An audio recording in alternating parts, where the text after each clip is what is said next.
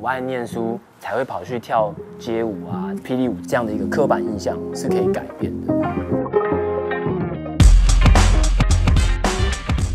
最早是国小，因为我爸他买了一卷录音带，就是 L A Boys 的跳，就被里面的舞蹈深深的迷上。直到上了高中，加入了和平高中的劲舞社，才开始真正的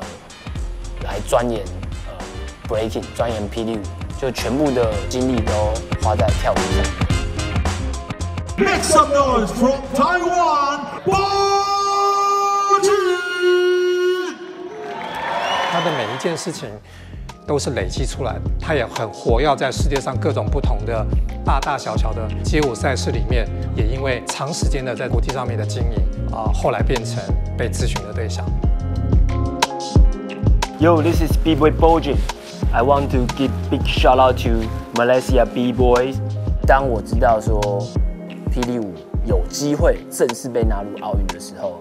我当然会认为说，只要我可以做的，我一定全力去做。当时可能不是有这么多的相关机关啊来关注这件事情，不管是在资源或者是经费，都要到处奔波。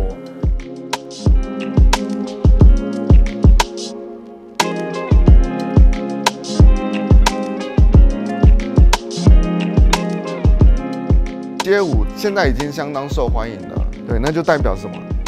他多年来的经营出现的结果，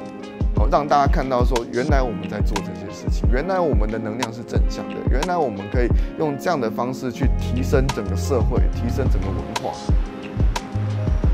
没有想过跳霹雳舞可以成为国手，然后甚至带给很多孩子或偏乡不一样的感动。其实真的很多人因为跳舞改变了他们的人生，就希望我一生都可以为这个我最爱的